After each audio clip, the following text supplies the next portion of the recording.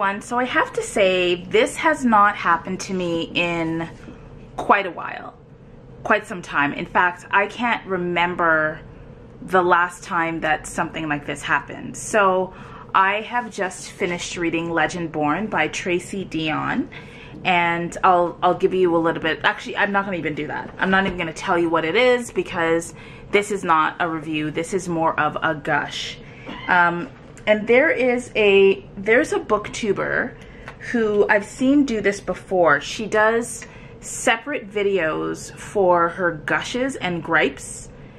Um, and then she has separate videos for her reviews. And I'm going to borrow that idea and I see the wisdom in it because sometimes you just want to take a minute and talk about the book and not have to worry about hitting all the points for your book review. You just want to be able to say, this is how I felt about it. And then you can have a more thoughtful kind of response. Um, and I'm just, I'm just, I'm trying to remember her name. If I don't remember her name, I will put it up somewhere. Oh, Thoughts on Tomes. So she does, she does like gushes and gripes and then she'll do her actual review. So this is going to be a gush, and I'm I'm using her idea. Um, so I just I thought my phone was on. I just finished reading Tracy Deonn's Legendborn. This was a buddy read with uh, Noria from Chronicles of Noria. I did this as a hybrid read, so I listened to it on Audible, and then I, um, I think I, I don't even think I, I did any, um, I didn't look through the book or anything like that, but I am going to do a post hybrid read annotation and I will probably videotape it so that you can see it. But who cares about all of that? Why am I gushing? I thoroughly enjoyed this book. I thoroughly enjoyed this book. Um, I loved the magic system and I and you know when you read a book and the book does something so well that you realize something new about yourself. So I realized that I love books, fantasy books that mix magical traditions. Um, so you know how some fantasies will have like one magical system and then people will have different powers, but it's all within the same magical system. In this book, there are like at least three different like traditions that that are are separate. They have their own lineages. They they work in their own particular ways, and they interact in the story. And I just thought that was spectacular. That's number one. One reason why I loved it. These different magical systems all working together. The second reason why I loved it is because I am a sucker for an origin story. I love any kind of story where we watch the protagonist go from living a mundane life to discovering a world of magic and fantasy and history and finding out that they've got a destiny. It's the it's the one trope right? Like you are the one you are the chosen one. And i i love that. That's another reason why i loved it. Third reason why i loved it is because Deonn was able to engage not now friend. Deonn was able to engage race gender um, ability sexual orientation, gender identity, um, class, um, like all of these different social locations and social identities. And she was able, she made choices about which one she would focus on, but she was able to create a world where we engaged all of that stuff. Like in this story, we have a non-binary and or trans character developing a relationship with a cisgender black female character in a way that in my view like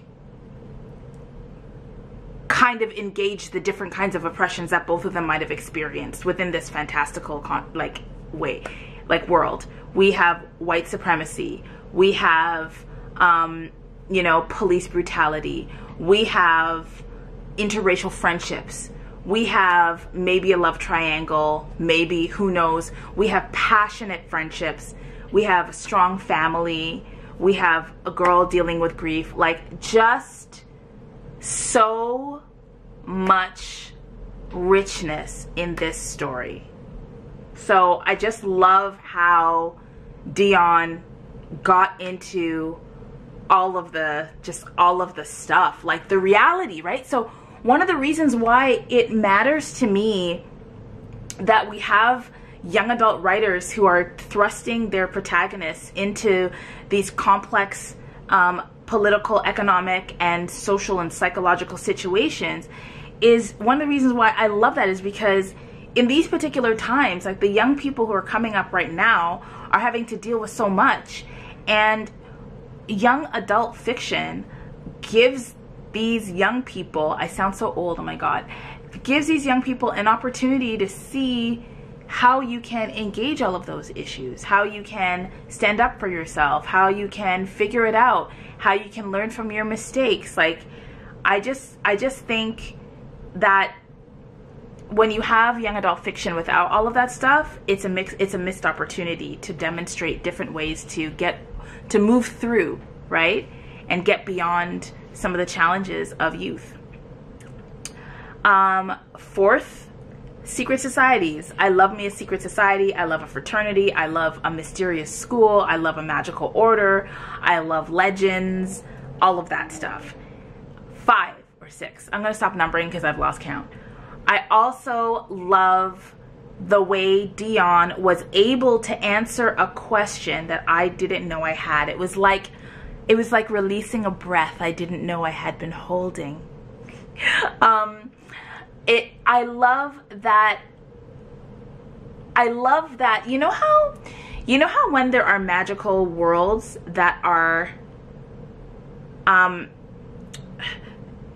that are int- like intricately connected with colonial powers, right? So one of the reasons that I have never really been interested in King Arthur and the Knights of the Round Table is because I'm really not attracted to like myths and legends that come from um, Europe, right? I'm not I'm not interested because um, Europe, like the colonial powers, were came from different parts of Europe, and in many of these stories, there are no black people, um, and there is no no consideration for the relationship between these colonial powers and Africa and its diasporas.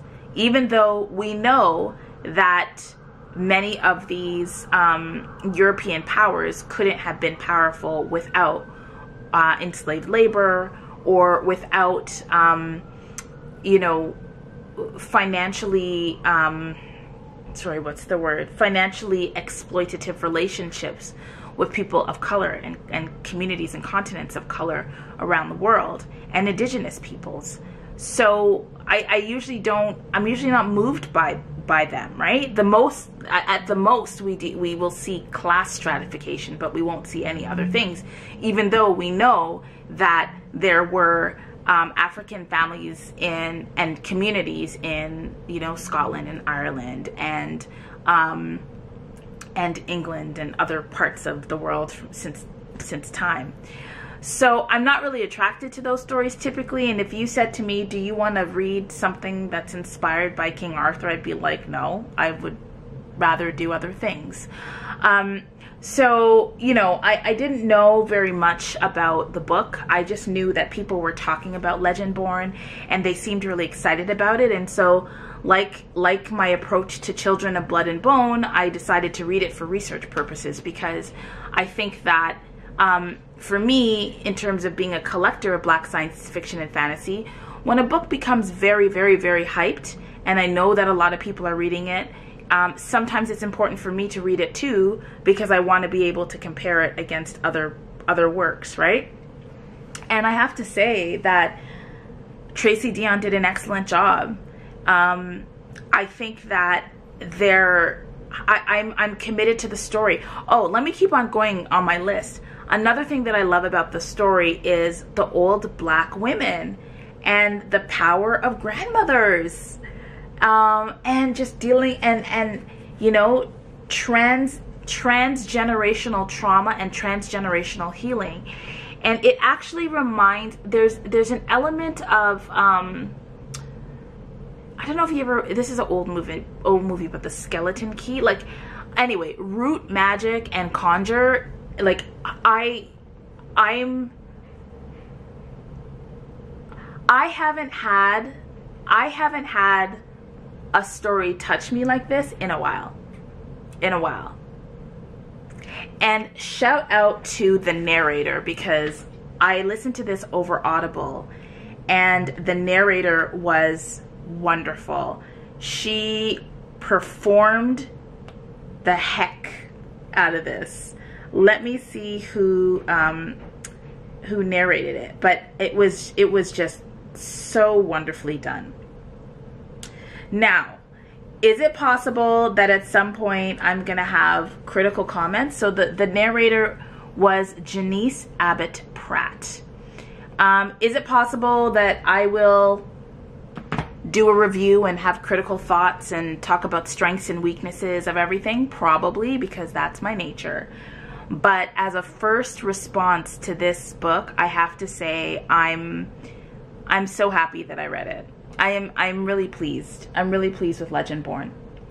So I'm gonna go and uh, do what I usually do before I put my reviews together, which is um, to go and listen to other people's thoughts and watch other videos and sort of think now think a little bit more critically but as a first response i have to say i'm gushing and i hope i i hope that after the the afterglow wears off that I, I will still be in this place but i'm being gentle with myself and i'm accepting that that it might not happen. Who knows? But i i just finished it and i was like wow.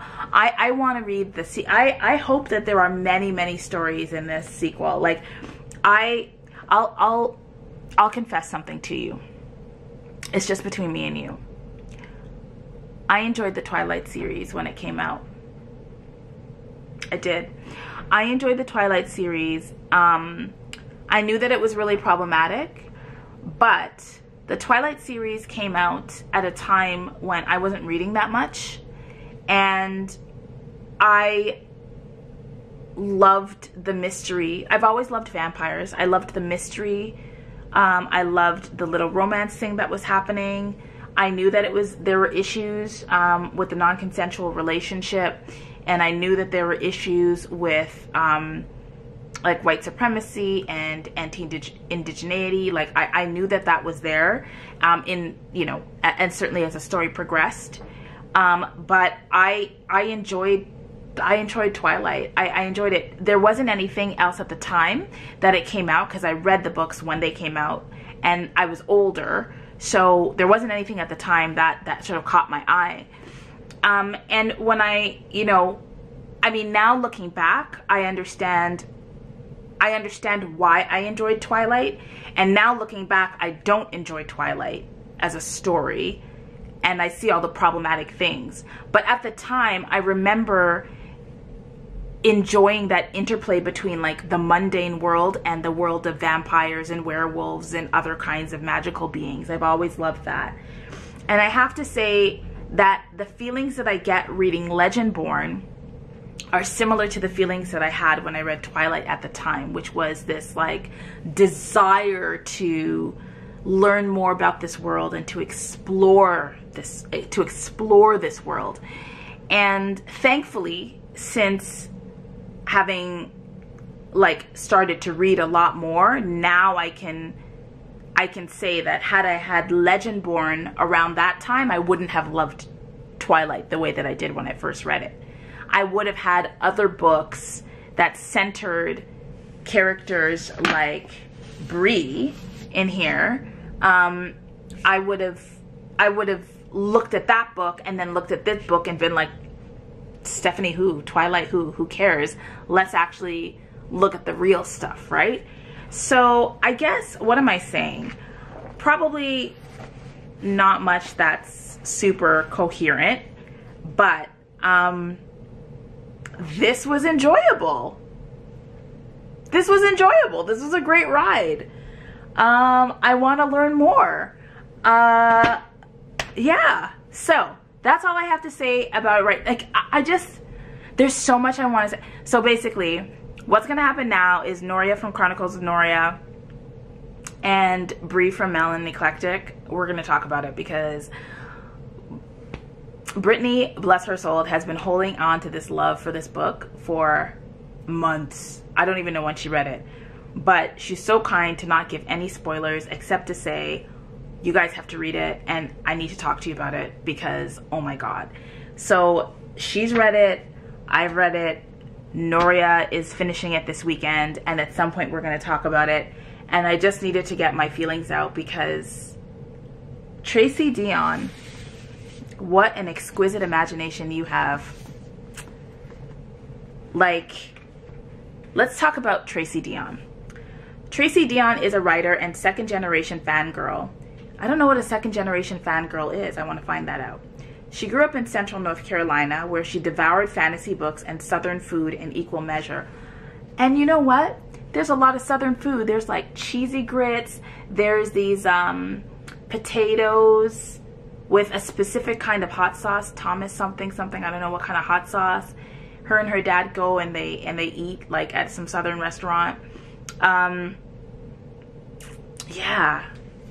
Um, after earning her master's degree in communication and performance studies from UNC Chapel Hill, Tracy worked in live theater, video game production, and K 12 education. When she's not writing, Tracy speaks on panels at science fiction and fantasy conventions, reads fanfic, arranges puppy playdates, and keeps an eye out for ginger flavored everything. I love ginger flavored things. Tracy can be found on Twitter at Tracy Deonn and tracydeonn.com. The jacket illustration is by, was by Hillary Wilson, and I, I really enjoyed um, the cover. And this book was published by McElderry Books. Um, I think it came out in 2019. Sorry, 2020. Yeah, 2020. So I'm, I, yeah, I'm, I'm, I'm happy with this. That's all I can say. It's been 17 minutes of me gushing. So if you have read Legendborn, uh, I would really love to hear your thoughts. I have I have seen people absolutely love it and gush about it. I've also seen, I feel like I've seen a few people DNF it. Um, yeah. So I, yeah, I wanted I want to talk about that. Um, there are a couple things that when I think about when I think about it, I I struggle a little bit. Um, I yeah, I struggle when there are um, black female characters who have white love interests, which is what happens in this book. But in this circumstance, like there is me there's meaning there's meaning to that so uh, maybe i should be more clear it's not that i have a problem with interracial relationships in books it's not that my problem is when whiteness is held up as a proxy for beauty in opposition to darkness or blackness. That's what I don't like. So when there's a character who doesn't love their blackness, but loves and upholds and pedestalizes whiteness, and then falls in love with somebody white, um, in the absence of loving them, their, them themselves. Yes. And that's what I don't like. There's an interracial relationship um, in this book, and it's done in a way like she has so much love for herself as a black young woman that the love for this white young man doesn't take away from it. It, it doesn't it doesn't symbolize a lack of self-love. And I appreciate that. I very much appreciate that. So um so yeah, that's that's I just yeah, I'm I'm happy with this. I'm happy with this. Okay. If you have watched this all the way to the end, what I would like you to put in the comments, since the cover has this great red and this great blue, is one red thing and one blue thing. No, one red thing, one black thing, and one blue thing. Okay, that's what I'd like. Um, and then, of course, if you've read Legendborn, did you like it? Did you not like it? Let me know. I'd love to know. That's it. So thanks very much for watching. Remember to read with purpose. And I'll see you in the comments where we can talk about whether you are gushing or griping um, over Legendborn by Tracy Deonn. And again, I want to give credit to Thoughts on Tomes because um, her model of doing reviews and then separating those videos from her gushing and griping videos has inspired me because I'm doing exactly what I saw her do. So I want to give her the credit for having this idea. All right, everyone. Thanks for watching and I'll see you in my next video. Bye.